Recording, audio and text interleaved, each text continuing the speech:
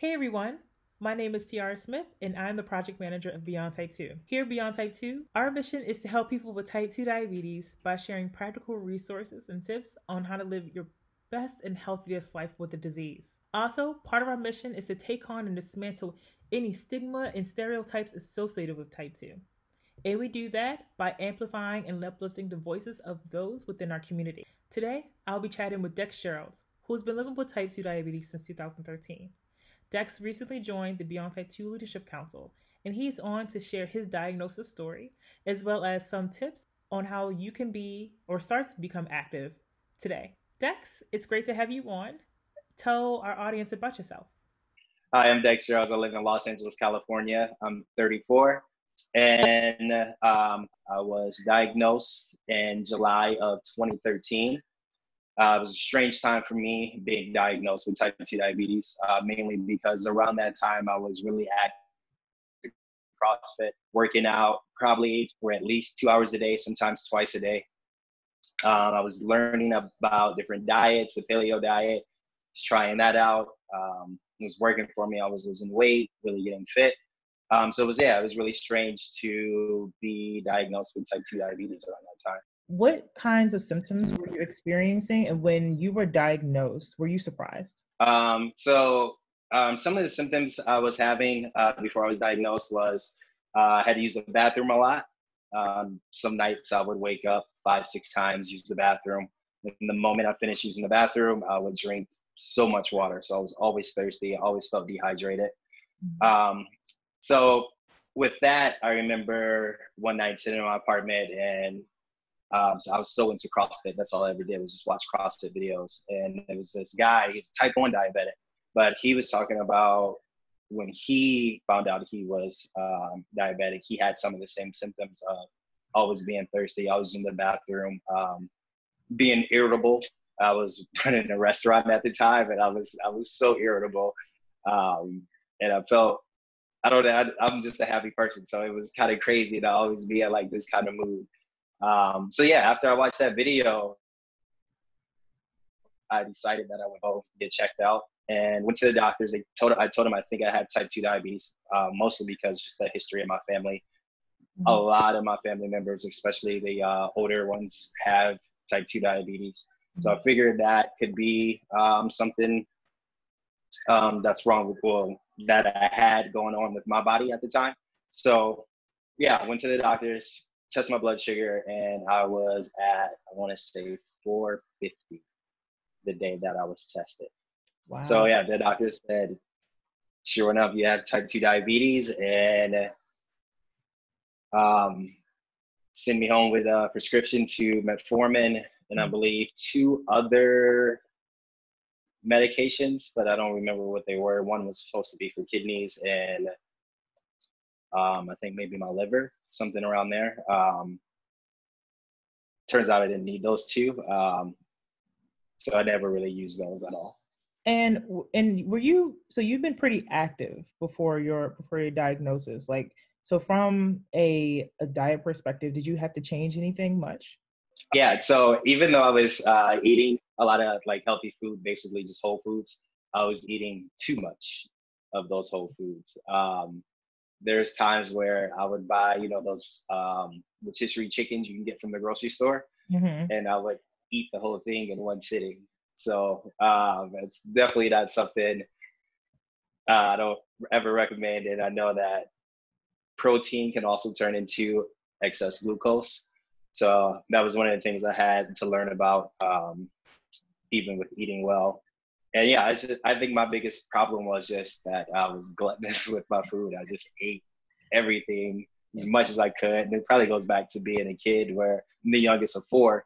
So if you didn't eat fast enough, you wouldn't get anything. So yeah, I I remember just yeah. trying to get as much food as I can, and I kind of just went over into my adult life. Yeah, I, I totally get that. Like growing up, we were we definitely had that mindset that we had to clean our plates. So um, and if we didn't clean our plates, we weren't going to get that much next time dinner was served.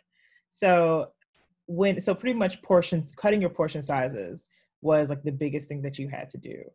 And can you can you talk to us about that family connection? How did your family react? And like do were you guys being supportive of each other as you were coming to into your own with your own diagnosis um so yeah the family aspect i remember when i was diagnosed the first thing i did was call my mom and i told her that uh, the doctor said i had type 2 diabetes and her response was i figured you would get it i just didn't think it would be this early and and that made me upset. I was mad because she never told me that this could be a possibility. But I think she maybe even hint at it. I remember being younger and she would have us test our blood sugar, um, even as teenagers and stuff like that.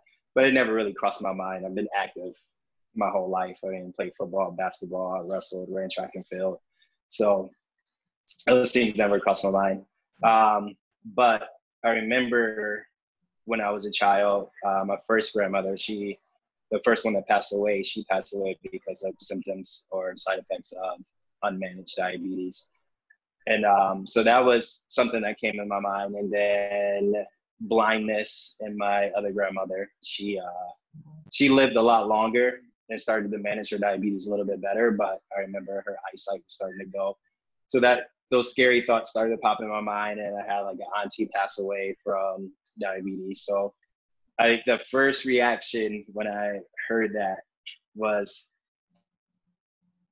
the thoughts of my family and basically just like doom and gloom on on having diabetes, almost like it's like a death sentence, it's just like a slow death. Um, but for the most part, um, I've always had a pretty supportive matter what we did. Um, like I remember I told my mom I wanted to move to California to become an actor. And a lot of people say there's like an unrealistic goal, but my mom never gave me anything like that. Uh, she's my number one supporter. She's always excited to see me um, when I'm on commercials or TV or some kind of film. Um, but yeah, I mean, talking to her, she was my first support system with diabetes and how to manage it. Call her up, and she'd tell me I could eat this much kind of starch or something like that to figure out how my diet will be. Um, yeah, so it's um, I get pretty blessed to have her, who's managed her diabetes, I would say almost perfectly. She doesn't have any kind of side effects from that, and she's 64, I believe now. Mm-hmm. So that was awesome. Um, and then I mean, my siblings is the same thing. Is we always have that mindset is you can do it as long as you put your mind to it. So um, yeah, I mean, I I, uh, I can't say yeah, there's never been a negative thing from from a family members when it comes to this. Uh, we just always put our head down, work hard, and figure things out. So, yeah, it's been pretty awesome. That's an amazing support system had to have. Um, go mom. Um, and I am very sorry to hear that you had other family members who have um, suffered or passed from diabetes related complications. It's something that a lot of people with type 2 are familiar with when um, when we when we grow up learning about type 2 diabetes especially if you're if you come from um, um, a family of color um, there is that sense that we will get it when we get older and our immediate experiences are that we know people who have suffered from complications so when you when we when we're diagnosed it feels like okay this is also going to happen to me. Um, but it seems like your mom has been that person who has helped instill in you that it doesn't have to be that way as long as you learn how to take care of yourself and through her own behaviors she's been able to to help you um, learn some of those habits too and so right now how do you currently manage um, type 2 diabetes? Are you still taking metformin? Do you take insulin?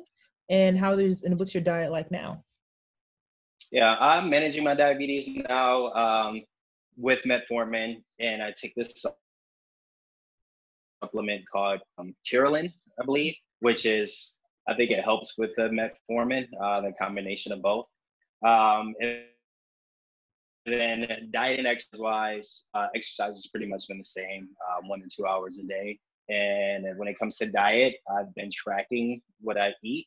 So I've been trying to figure out my macros, which is fat, protein, and carbohydrates, and I allow myself to have 115 grams of fat, 250 grams of carbohydrates, and 225 grams of protein. Um, and I found out that that range of um, macros uh, helps me manage my blood sugar in a way where I can still gain muscle um, when I'm exercising as well. So um, So yeah, let's actually get into your profession as a personal trainer and someone who's just interested in fitness. Tell us how you manage your um, your diabetes with exercise. What are some of the your favorite exercises to do to keep your glucose um, within range? Um, yeah, so when it comes to managing my glucose levels with exercising, uh, one of the things, if I am high before, before I start the workout, then something slow, like a slow jog for 15 or a hop on the bike or row machine. And I've learned that through slow exercise that I can lower my blood sugar pretty fast um, if I do it that way. Other workouts, spring workouts, that usually makes me spike like instantly. So uh, I have to be careful when I start my workout. If I know my workout's going to be something like a sprint or in CrossFit, we can do a five minute workout and still work worst feeling ever. But the five minute workout, if I go as fast as possible, there's been times where I would check my blood sugar levels afterwards, and I probably started off at 200, and I was over 300 by the end of that workout. And it was just five minutes of just constant work. So I always need to make sure first where my uh, blood sugar levels are before I work out, and then depending on that, then I can design my workout off, design my workout off of what I see on the um, the meter. So yeah, usually that's uh, the best way. And then when I do spike based sprinting kind of workout, a fast paced workout, it usually comes down pretty quick. It's just that instant spike where your body thinks it needs to actually glucose to get through. Very true. Very true. And what do you and like so when your when your glucose is, is higher, do you have something readily available just to prepare for that drop post workout? Like do you ever get low blood sugars? And if so, like how low does your blood sugar sometimes drop after exercise and how do you treat it? Um, so I've been lucky enough to not have anything low. I think the lowest I've ever seen my blood sugar after a workout was probably around 115. Um, I do know some uh, type 1 diabetics who do CrossFit as well. And when they drop, they usually have like glucose tablets or something around there. Um, a lot of them, a lot of them are lucky enough to have like a Dexcom or something so they can check their uh, blood sugar levels around that time. So yeah, um, a lot of people usually after a workout drink a protein shake anyway. So that protein shake usually, depending on what brands you have, um, can have some sugar in there to help you um, bounce back up. I know there's a lot of new products coming out that's protein and carbohydrates that I've seen people take as well. So just mix that up, drink that, they get the protein, and it's usually around like I want to say 20 to 40 grams of carbohydrates as well that help people bounce back from that. But yeah, for myself, I've never, I've never dropped low at all. Um, I think the closest I've came was around 90. I think now that I think about it, and that's still pretty sick level. So yeah, but yeah, that's how my friends manage theirs if they drop too low. I because you're a personal trainer. First, how did you get into personal training, and how did you know that that profession was for you? But when you meet with new clients and you tell them that you have type two diabetes, what is their reaction? Are they surprised? Um, so I got into personal training through CrossFit. Um, truthfully, I uh, wanted to figure out how to reduce my cost of CrossFit. Usually memberships are like 200 bucks. So um, I loved it so much that I'm about it. I got my certification and started coaching so I could uh, work out for free. But during during coaching, I realized that um, something I've always had a passion for was helping people. Um, I mean, growing up, I always volunteered and everything like that. And um, so yeah, I realized that like I'm helping people lose weight and live longer lives, and that brought so much joy to me um, that I figured I'd take it to the next level and start doing this full time. And started off just teaching group classes, CrossFit classes, and then when I felt confident enough in my ability to teach um, movements and give information, that's when I started going into personal training. And right now, um, before all of this happened, I had about nine clients, which was awesome for me. Um, and I was just teaching them. They all had different reasons. Um, some of my clients were pre-diabetic, um, and then other ones just LA people want to look good. So, um, but yeah, usually um, the first conversation I have with my clients is I usually let them know that I have type 2 diabetes. Um, or usually I just say diabetes and then they get confused because the stereotype of diabetes is people who don't exercise, eat really bad, um, uh, and they have examples of like relatives and stuff like that that they bring up. Um, some of them who do know the different types of diabetes usually ask if I'm type one, and then I let them know I'm type two, which just confuses them even more. And then I let them, uh, just I just tell them a lot. Um, genetics is a factor, um, and why I have my type two diabetes. Um, and then other times, it's not that a person is lazy or eating bad. It's just habits that might have grown they've grown up with um, with their diet and how they see it. Um, sometimes people don't have access to gyms or other areas where you can work out, and they have no idea that they can do other things to be fit. Um, so I don't I don't ever think it's I let them know that it's never like definite that it's a person's fault that they develop type 2 diabetes. There's other factors that go into that, not just, oh, they didn't do this their whole life. Um, they didn't work out or I've seen them eating McDonald's all the time. It's just habits that we learn through life and things happen because of that over time. And um, um, yeah, if you do get diagnosed with type 2 diabetes and there's just basically you just have to learn some new habits to help maintain that. Yeah, yeah. I mean, you're totally right. Like, and I think that's like where where the shaming kind of needs to be addressed, right? Because it's always the the fault of the person with type two. Um, but it's like you said, it's these are learned behaviors that go un, unaddressed for for years. Um, kind of like what we talked about earlier about like if you know we have to clean how how we have to clean our plates when we're little like that kind of feeds into our actions as we grow up. Like our relationship with food um, is dependent on our on our environment the people who, who we grow up with the people who we interact with on a daily basis. But also if you're someone that lives in an environment where exercise doesn't feel you know something that you can do it or incorporate into your life it's going to be hard to maintain an active lifestyle so, and you know, we all, you know, we have a lot of people within the Beyonce yeah. community who want to know like what are some ways they can get active right now. It's a it's a little bit tougher I imagine right now for some because because we're we're in the house, we're in the middle of a pandemic. So there's a lot of stress right now to be, you know, active and keep our glucose in check. Um, so what are some ways who who are typically sedentary how can they be active within their um, within their own lives today? So um, I think I've been really so one way to start to become active um, if you haven't been in a while or in your entire life um, is just to start off small.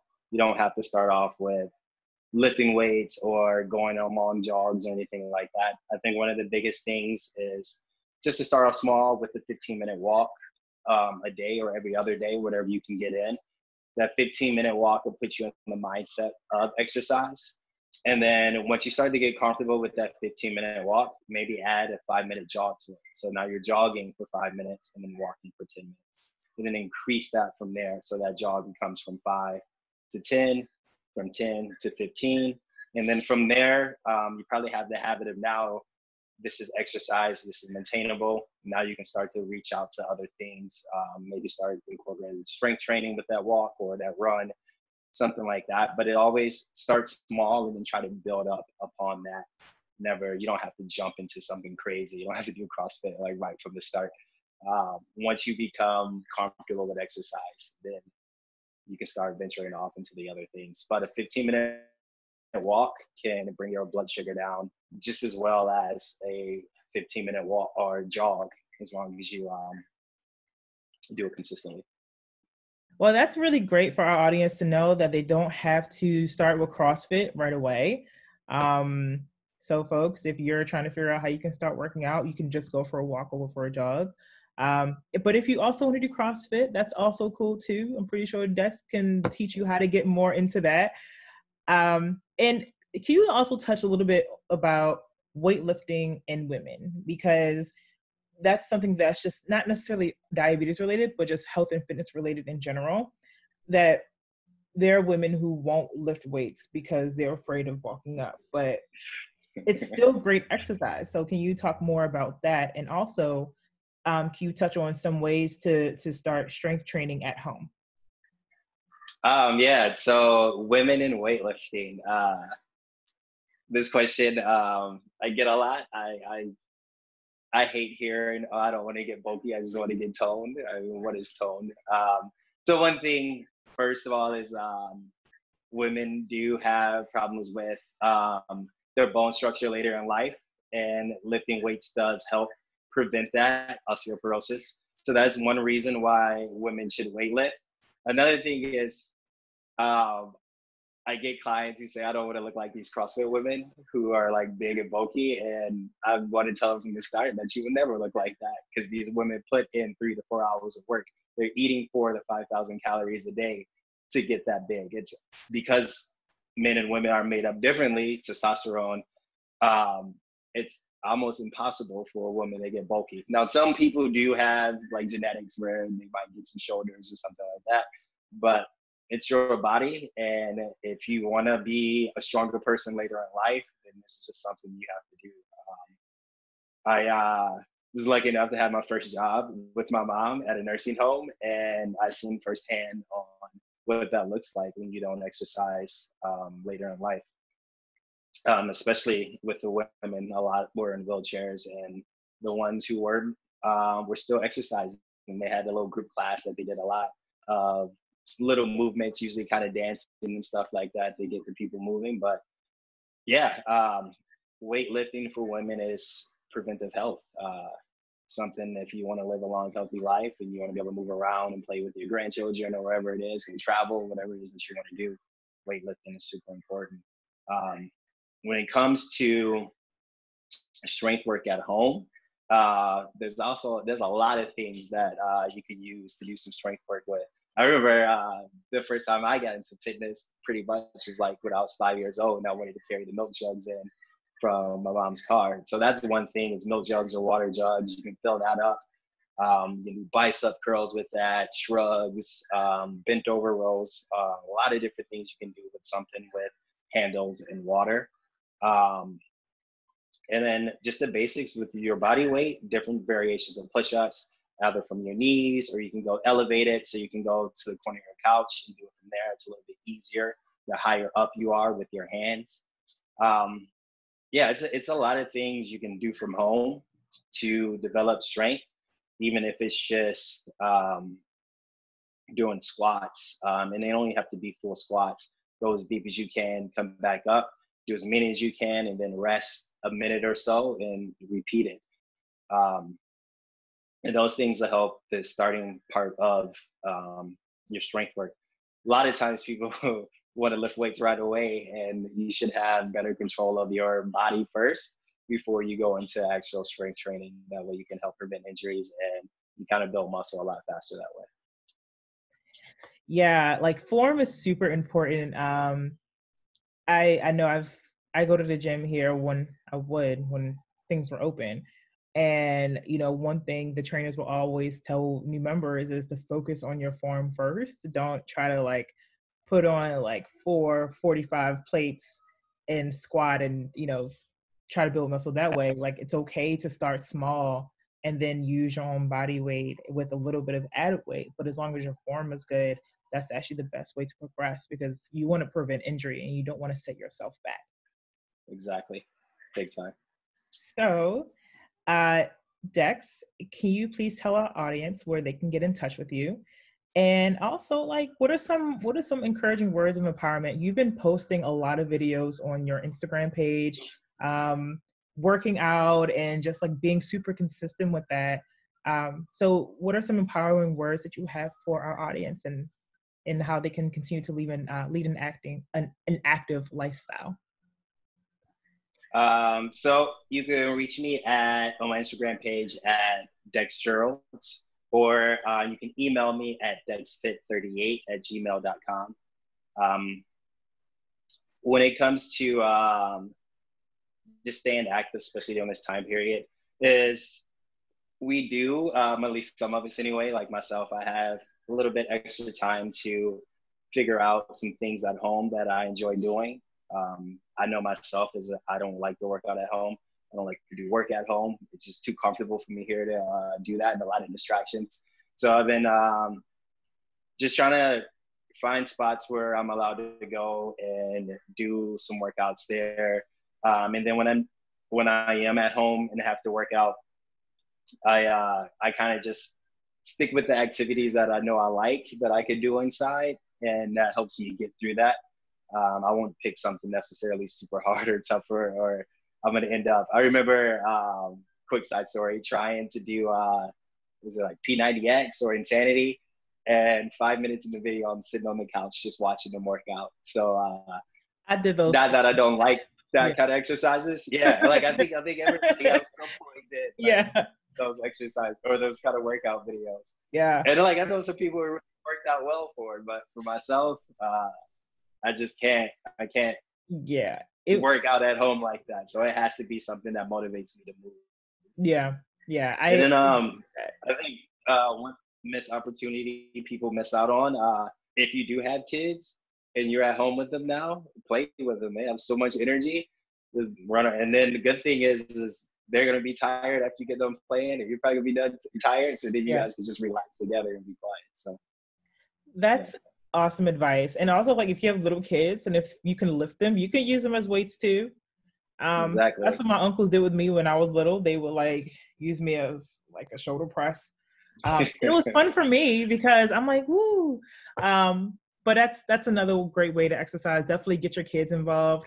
Um, depending on where you are, there are you know restrictions on what parks you can go to. But if you if you have like a yard, if you just like have if or you just like even just like a sidewalk or just a block, you can get really great exercise doing exactly. that. Um, and you know, there should be no pressure to do something like P90X or Insanity at this time. You know, yeah, I would say try it. Yeah, yeah, try yeah. Unless you want to try it, that's cool. Um, I I did, and I liked it back then when, especially when I was learning how to how to use weights. Um, but definitely finding something that you enjoy is such a big part of remaining consistent. Um, I know for me personally, uh, the gym is closed and that's like my major support system, but they do post a lot of like home workout videos to keep the community connected. Um, and when I don't feel like doing any kind of strength workouts, I honestly just turn on YouTube on my TV and I dance to like BTS and Beyonce choreos. So, and I do that for 30 minutes and my blood sugar comes down um, and i feel really good. I feel you know very invigorated but also like one thing i've i've been able to really stick to these last couple of months is walking just taking a mile walk with my dog um, and also yeah if you have a dog this is a great time to get exercise with yeah. too. Perfect. Um, so we take long walks and i just listen to music listen to podcasts. I dance while i walk too. So just anything to feel good um, and not necessarily make exercise feel like a chore. Exactly. Yeah, I actually been going on a lot more walks too. Um, I guess because you just inside all day. It's nice to get out and yeah. enjoy things. I I found this great um, soccer field place near me that I never realized was near me until like about two weeks ago, and I was just going on a walk. And lucky enough, it was never closed. There's always a police officer there, and super nice facility where I can get workouts in. And so I think most of my videos now have been coming from from that place. Like yeah, it's been outside and walking. Yeah, that's that's awesome. Um, you know, there's there's so many ways to be creative with being active. Um, no gym needed, and actually, and no gym equipment needed too. Like you are enough um, which is something that you know we definitely want our audience to be mindful of that they can do pretty much anything to be active.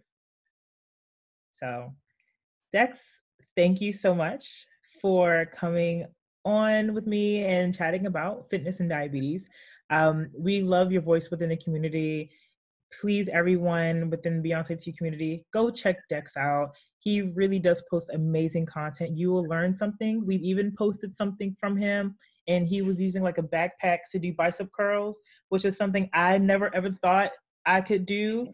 Um, so I can, you know, use ordinary objects around the house to just get in a really good workout. But Dex offered some awesome gems here on how you can get active today, and it doesn't have to be like a chore or something that you have to do. It should be something that you want to do and something that's going to make you feel good inside. So, Dex, do you have any last words? Um,